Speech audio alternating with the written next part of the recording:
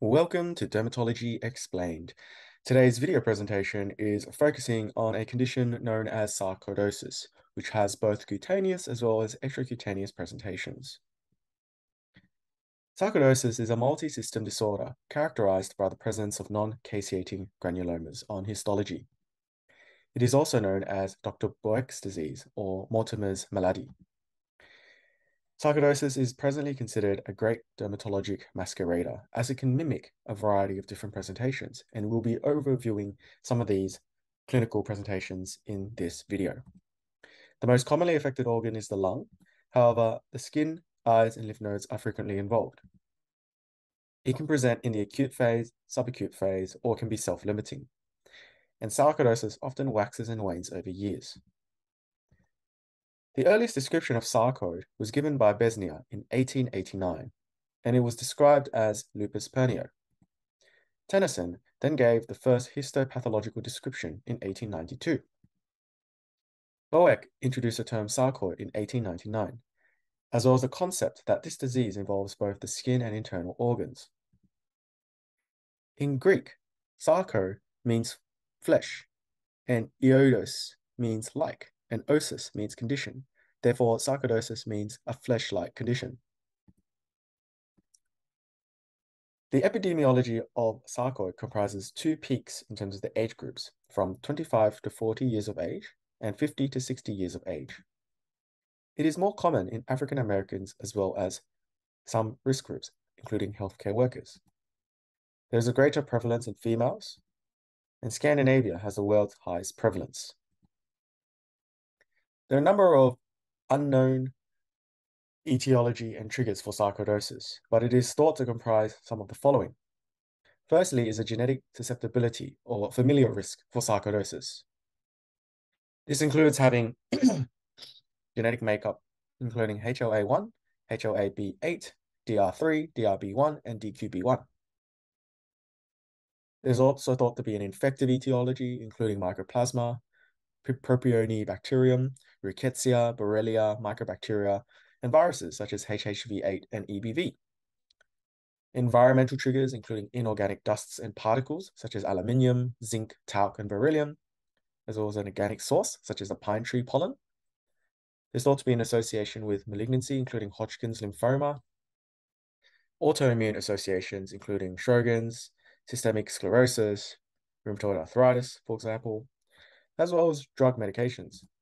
And this can include interferons, often used to treat hepatitis C, immune checkpoint inhibitors such as ipilimumab and nivolumab, targeted kinase inhibitors such as vemurafenib, TNF alpha inhibitors, as well as vaccine medications.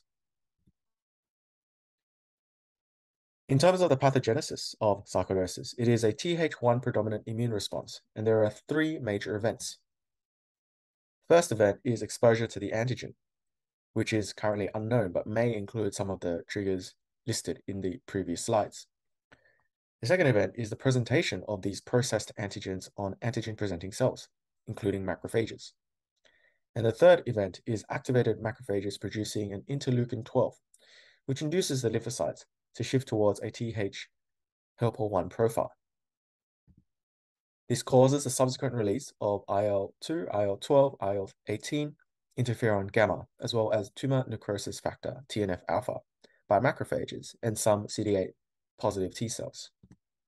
This results in a persistent Th1 activity, as well as persistent interferon gamma elevation, and this further recruits more monocytes and macrophages and turns them into giant cells, essentially.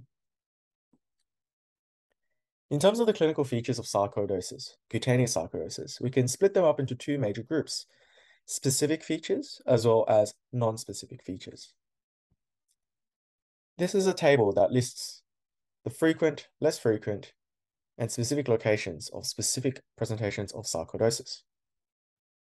Under the frequent group, it is often seen papular, maculopapular, plaque, annular, lupus pernio, subcutaneous nodular form, as well as sarcoidosis in scar and tattoo sites.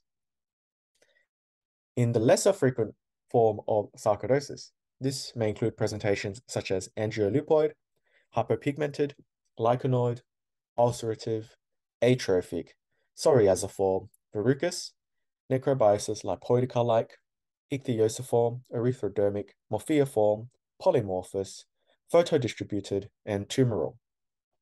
And in other specific location types, this includes oral cavity, scalp, nail, and genital.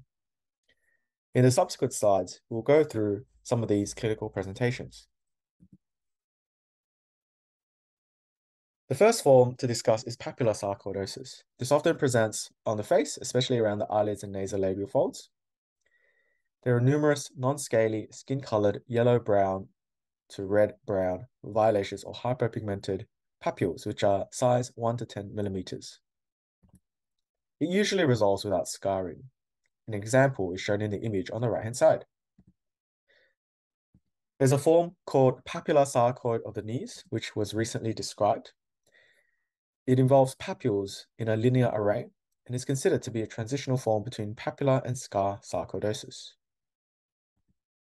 It is also associated with erythema nodosum. It has a good prognosis. The next type is maculopapular sarcoid. It most commonly involves the neck area, trunk, extremities, and mucous membranes. It is commonly associated with acute organ involvement. It may be sometimes transient and appear the herald onset of disease. Maculopapular sarcoid generally has a good prognosis. In most cases, the systemic disease is inactive within two years. Plaque sarcoidosis has a similar frequency to papular sarcoidosis. It more commonly develops on the back, buttocks, face, and extensive surfaces of the extremities. It consists of one or multiple round or oval infiltrated patches and plaques with a brownish red in color and may have confluence of papules. It tends to be larger than 5 millimeters in diameter, is usually thicker and more indurated than the papular form of sarcoid. In the annular form of sarcoid, we see circinate or annular papules or plaques which predominate on the forehead, face, and neck areas. The central area may become depigmented or scarred. Ulceration is rare. Lupus pernio is an important form of sarcoidosis to know because it is a hallmark of chronic fibrotic disease and is associated with scarring disfigurement. It is more commonly seen in Black females and West Indians with long-standing sarcoidosis. There is a chronic violaceous to telangiectatic indurated plaques and lesions predominantly on the nose and cheek areas. The lesions enlarge to become confluent to form progressively disfiguring nodular plaques on the nose and adjacent cheeks, as seen here on the right-hand side. It can also involve the upper respiratory tract, cause nasal ulceration, obstruction, and perforation of the nasal septum. Lupus pernio usually follows a very chronic course. It is frequently associated with systemic involvement. This can lead to mutilating sarcoidosis. Severe form of lupus pernio involves large centrofacial tumors and plaques extending into oral and upper respiratory tissue. Here are some images demonstrating lupus pernio, the nodular type on the left-hand side, as well as mutilating lesions with extension into the, into the nasal mucosa on the right-hand side. There is a form of sarcoidosis called Perthes-Jüngling disease. This involves lytic and cystic bone lesions in the hands and feet, which underlie the lesions of lupus pernio. When the terminal phalanx is affected, the nail may be dystrophic. There's also a phenomenon called drumstick dactylitis, a severe form with bulbous swelling of the fingertips. The next form of sarcoidosis is the subcutaneous form, also known as Darier-Roussy form of sarcoidosis. These appear as non-tender, firm, mobile subcutaneous nodules 0.5 to 2 centimeters in diameter. They may range from 1 to 100 in number, sometimes appearing in clusters and arise deep in the dermis and subcutaneous tissue of the extremities and trunk. They're more commonly found on the forearms, where they tend to coalesce to form linear bands. It is often associated with stage 1 changes on chest x-ray, along with other non-severe systemic findings of this disease. In the scar form of sarcoid, This is characterized by infiltration of non-caseating sarcoidogranulomas in surgical scars, tattoos, skin piercings, and other sites of trauma. It is difficult to clinically distinguish from a granulomatous foreign body reaction in a scar. It tends to persist according to the activity of the systemic sarcoidosis and usually resolves slowly and spontaneously. Angiolupoid sarcoid is a variant of plaque sarcoidosis and is characterized by the presence of prominent large telangiectasias. The lesions are orange-red or reddish-brown in color and have a more livid hue compared to other forms. It usually presents as a single raised plaque on the bridge of the nose, central face, ears, or scalp. There is little tendency to spontaneous resolution in of sarcoid. It is often mistaken for rosacea. In hypopigmented form of sarcoid, it affects almost exclusively dark-skinned people of African descent. The lesions manifest as hyperpigmented, well-demarcated, round to oval patches located mainly on the extremities. It may have a fried egg appearance. That is, erythematous papules can be found in the center of some lesions, leading to an appearance resembling a fried egg. In the lichenoid sarcoid, this comprises multiple 1 to 3 millimeters erythematous or violaceous, slightly scaling macular papules involving an extensive area of the skin. They occur singly or in groups, especially localized on the trunk, limbs, and face.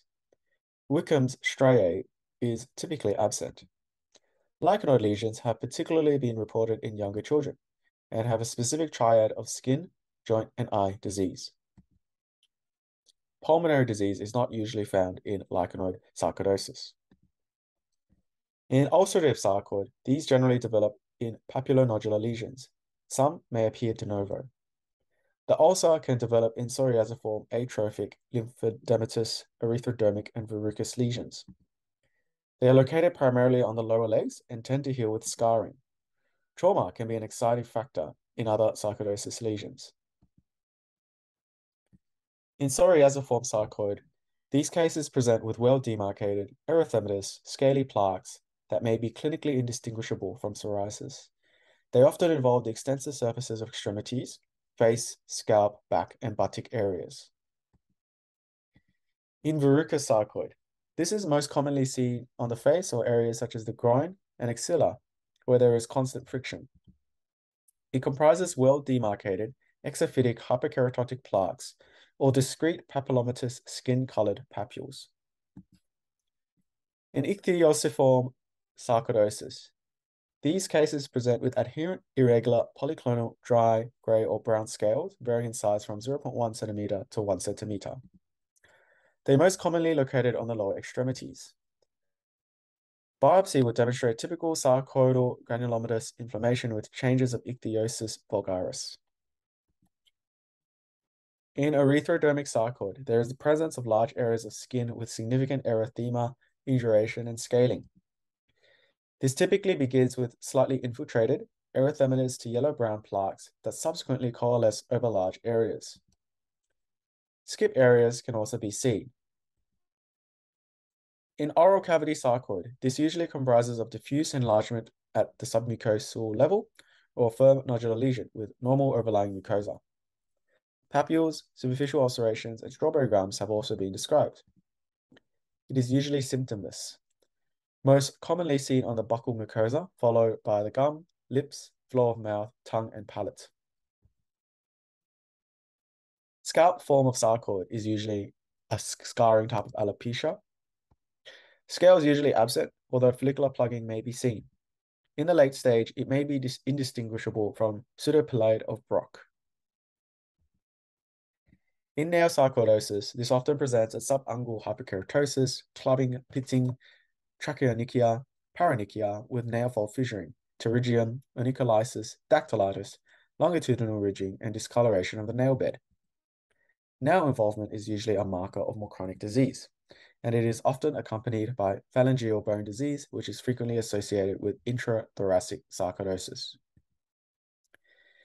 Now we move on to some non-specific skin findings in sarcoidosis, and the first one is erythema nodosum. This presents as symmetric, tender erythematous nodules and raised plaques, typically on the lower anterior legs. most common non-specific lesion and develops in up to 25% of sarcoidosis cases. It has good prognostic significance usually, which means it has a self-resolving nature.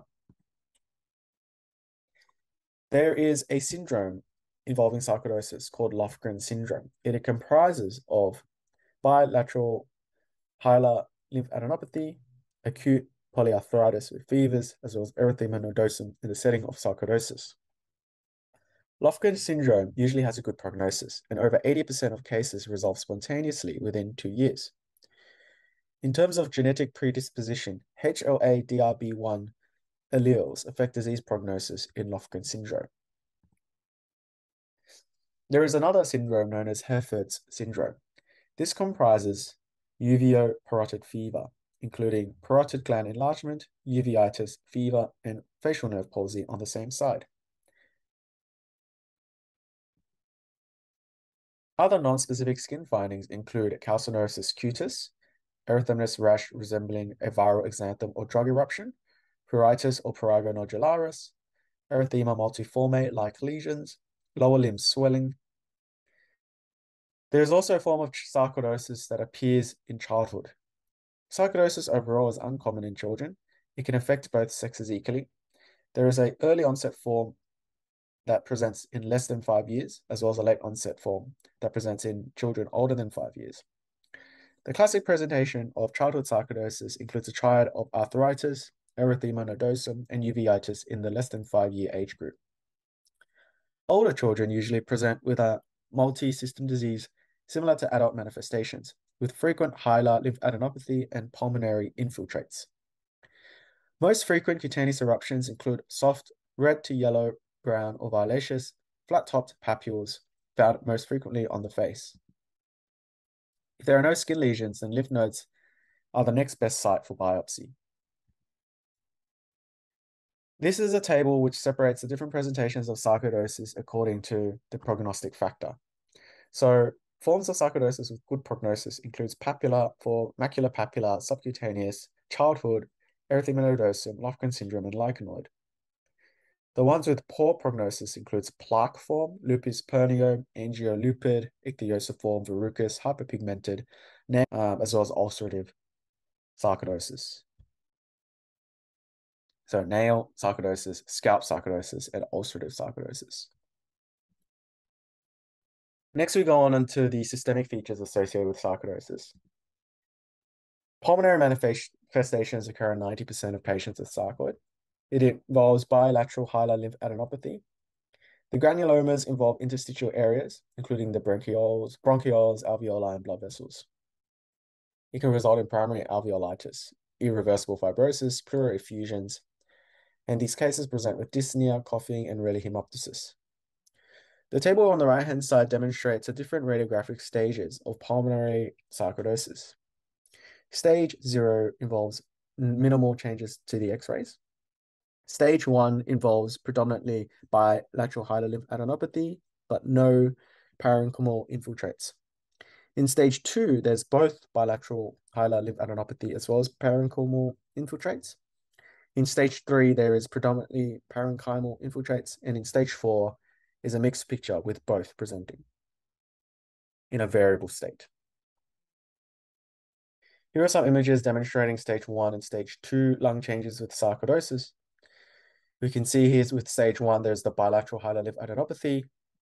And in stage two, there's the uh, parenchymal infiltrates with the bilateral hilar lymphadenopathy. And in stage three, it's predominantly the parenchymal changes that we can see on X-ray imaging. And with stage four, it's quite a severe mixed picture. This is a CT scan demonstrating miliary sarcoidosis, which demonstrates well-defined lung nodules less than five millimeters in diameter. This pattern is quite rare.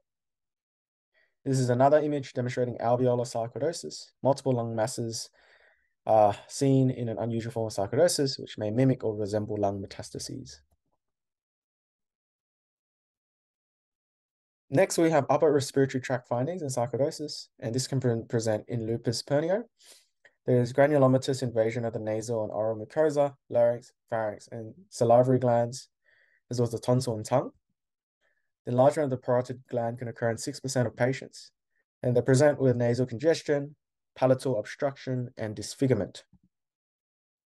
Ocular sarcoidosis is also very important to consider and, and, and assess for. They present with gritty sensation of the eye, conjunctival sicca, acute anterior uveitis, iris nodules, scleral plaques, lacrimal gland enlargement, and chorioretinitis. And some of these are demonstrated here on the right-hand side. Musculoskeletal presentation of sarcoidosis includes weakness, pain, tenderness, and erythema. Bone cysts and osteolytic lesions may form. There's chronic myopathy, muscle nodules, arthralgias, arthritis, fever, and weight loss, and tenosynovitis. Here are some radiographs. On the left-hand side, we see punched out lytic lesions on the distal phalanxes with focal osteolytic lesions in the fingers, which is the most common abnormality. On the right-hand side, we see a lacy trabecular pattern where osteolysis has left this pattern in the phalanx, as you can see where the arrow is demonstrating. Here are some further radiographic images. On the left-hand side, we see quite significant advanced sarcoidosis with osteolytic lesions of the distal forearm, wrists, and bones of the hand. On the right-hand side, there's nasal bone lesion involvement by nasal sarcoidosis, which leads to osteolysis of the nasal bone. Sarcoid can also involve the liver. 33% have hepatomegaly or biochemical evidence of liver involvement. Symptoms are usually absent. They can present with cholestasis, fibrosis, cirrhosis, portal hypertension, and Budd-Chiari syndrome. Cardiac involvement occurs in 25% of cases. It can affect any part of the heart. These cases are mostly asymptomatic. Screening should be performed to rule out cardiac involvement of sarcoidosis. This includes arrhythmias, heart blocks, heart failure, pericarditis, and effusions, as well as myocardial infarction and sudden cardiac death. Cardiac sarcoidosis is very difficult to diagnose. Screening and diagnosis can be done by ECG, Holter monitoring, echocardiography, nuclear imaging with thallium or technetium sestamibi, cardiac PET or MRI imaging, heart biopsy is rarely considered. Neurological sarcoidosis affects 15% of cases. Some people with neurosarcoidosis may recover completely. In others, sarcoidosis and related central nervous system or nervous system symptoms are chronic and last a long time and even a lifetime sometimes. CNS symptoms are not usually the first or only sign of sarcoidosis, so it's important to look for the other systemic and cutaneous features of sarcoidosis in these cases. Rarely, neurosarcoidosis is the only sign of sarcoidosis, in which case it's often very difficult to diagnose. CT, MRI, PET scan imaging, and lumbar puncture will aid in diagnosis, and biopsy is very rarely done. They can present with nerve inflammation and damage, peripheral neuropathy, and histologically, granulomas are present in the meninges, which can lead to meningitis, hydrocephalus, and neuroendocrine disorders. Cranial nerves and peripheral nerves can also be involved. The most common uh, cranial nerve that's involved is the seventh nerve facial palsy, which results in acute, transient, and can be unilaterally or bilaterally. As alluded to earlier, Heerfordt syndrome involves facial palsy accompanied by fever, uveitis, and enlargement of the parotid gland. There's optic nerve dysfunction, which can result in blurring, double vision, and blindness. Seizures, paresthesias, and encephalopathy are also associated features in some cases. Here's an MR image demonstrating temporal lobe sarcoid. Sarcoidosis can also affect the kidneys. There's increased calcium absorption in the gut. And this is as a result of the high levels of circulating 1,25-dihydroxy vitamin D produced by the mononuclear phagocytes in the granulomas in sarcoid, and this results in hypercalcemia, hypercalciuria, and in some cases may be associated with renal stones, causing nephrocalcinosis and renal impairment. Lymphadenopathy, as already alluded to, is one of the key features in sarcoidosis. Aside from the high hilar adenopathy, intrathoracic nodes may be enlarged in 75 to 90% of cases. And there may also be peripheral lymph adenopathy. Other systemic features include gastrointestinal involvement. Um, there are some images here demonstrating gastric sarcoid with granuloma involving the gastric antrum, leading to irregular, non-specific narrowing on the left-hand side. On the right-hand side is an image demonstrating colonic sarcoid with irregular narrowing of the rectosigmoid, which has an appearance of inflammatory disease or malignancy. It can affect the liver, with hepatic granulomas present in 50 to 65% of liver biopsies. Elevation of LFTs only detected in up to 35% of cases. Treatment is only necessary in symptomatic cases. The lab abnormalities associated with sarcoidosis includes a lymphocytopenia, a mild eosinophilia, increased inflammatory markers such as ESR, hyperglobulinemia, as well as elevated ACE levels. The reason for this is activated macrophages produce ACE. It's non-specific. It's also elevated in a number of other conditions, including Hodgkin's, histoplasma, and leprosy. ACE levels may be checked to determine the course of resolution and response to therapy, rather than as a diagnostic tool. So histological mimics of sarcoidosis includes foreign body reactions such as to fillers, tattoo ink, silica, granulomatous form of mycosis fungoides, granulomatous rosacea, orofacial granulomatosis, Crohn's disease, Blau syndrome, infections including tuberculosis and atypical mycobacteria. In terms of diagnostic approach, it's difficult to differentiate sarcoidosis from chronic infections, fungal disease, and TB and lymphoma. And so it is important to combine our clinical, radiologic, and histological findings to come up with a diagnosis. Laboratory testing is seldom important. Identify non-caseating granulomas, which are indicative of sarcoidosis. Transbronchial biopsies may be positive in 65 to 95% of cases, even though no lung parenchymal abnormalities may be imaged. Tissue from mediastinoscopy is positive in 95% of cases. In terms of histology of sarcoidosis, a 4 millimeter punch biopsy for H&E and fresh biopsy for culture and PCR for mycobacteria bacteria, and fungal infection is important. It's important to remember that sarcoidosis is a diagnosis of exclusion, so it's important to send off for cultures and exclude an underlying infection. In terms of the histological features, non-caseating naked granulomas with minimal inflammation, there may be Langerhans, Langhans multinucleated histiocytes. There are asteroid bodies, which are trapped collagen bundles which appear eosinophilic on histology. There's also Schaumann bodies, which are calcium oxalate impregnated protein complexes within multinucleated giant cells. 20 to 50% have polarizable material, may have foreign body granuloma too. So this does not necessarily exclude sarcoidosis. It's important to do stains such as Ziehl-Neelsen and Fite, as well as culture and PCR to exclude other infections which may present in a similar way.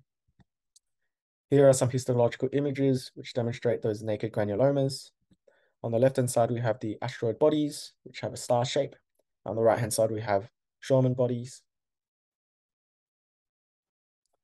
This is a table summarizing some of the differing features between sarcoidosis and tuberculosis. In terms of investigations, um, this would include a full blood count, looking for any lymphopenia, leukopenia, eosinophilia, anemia, and blood film. Inflammatory markers such as ESR, electrolytes, urea and creatinine, as well as urine calcium, looking for any evidence of nephrocalcinosis. Liver function testing to determine whether there's any liver involvement. Calcium, magnesium, phosphate electrolyte levels to determine if there's any hypercalcemia from the granulomas. ACE positive in 66% of cases. It's good for monitoring response to diseases rather than as a diagnostic tool. Vitamin D level, thyroid function testing, QuantiFERON gold to exclude a tuberculosis infection, as well as a full immunosuppression screen as a pre-treatment lab workup. It's also important to consider malignancy screening such as for myeloma, and lymphoma by looking at IEPG, EPG, and LDH. This is a table which demonstrates some other conditions associated with ACE levels. As you can see, an elevated ACE is not necessarily specific or diagnostic of sarcoidosis, as a number of other conditions can present with elevated ACE levels. So it's important to keep that in mind. Other investigations include imaging of the chest, such as chest X-ray or high-resolution CT. As alluded to earlier, there's multiple stages which range from stage zero to stage four with quite significant pulmonary fibrosis, bronchovascular beading. Diffusion limited um, CO studies as as spirometry to look for restrictive lung pattern associated with sarcoidosis. bronchoalveolar lavage can be used as an adjunct for diagnosis. Further imaging, including CT scan and PET scanning to determine this ex extent of the disease. Imaging of the heart, as well as testing of the heart, including ECG and echocardiogram, abdominal ultrasound and fibroscan, nerve conduction studies, MRI, ophthalmology review, specifically looking for eye involvement such as uveitis, as well as potentially considering sinus plain film and ENT nasal endoscopy to exclude nasal involvement of sarcoidosis. In terms of management, it really requires a multidisciplinary approach given the systemic involvement of sarcoidosis. Often this will include the respiratory team, ophthalmology team, gastroenterology, neurology, endocrine, renal, and rheumatology.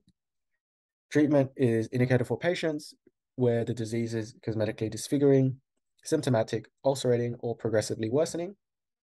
Lupus pernio almost always needs treatment, given that it's chronic and is involving significant scarring. Treatment principles and approach includes prednisone, hydroxychloroquine, and methotrexate as most commonly used immunosuppression. Doxycycline and minocycline have weak data, but is also used due to their relative safety profile. And for refractory disease, thalidomide and infliximab is often considered.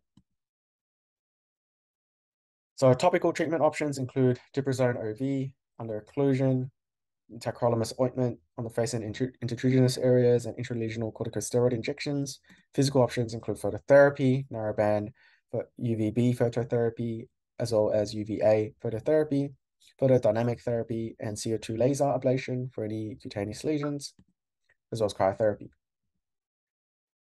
Systemic options are include doxycycline, minocycline for antibiotics, as well as systemic options for stage two and three pulmonary disease and hypercalcemia, neurological or cardiac input involvement. And this includes prednisolone, as well as steroid-sparing agents such as hydroxychloroquine, methotrexate, mycophenolate, and JAK inhibitors have also been described, including tofacitinib more recently.